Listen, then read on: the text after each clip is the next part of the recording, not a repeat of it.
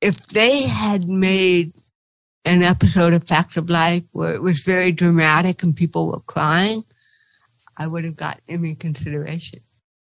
But because it was comedy, they didn't know what to do with it. Mm. Mm-hmm. It was like, yeah, but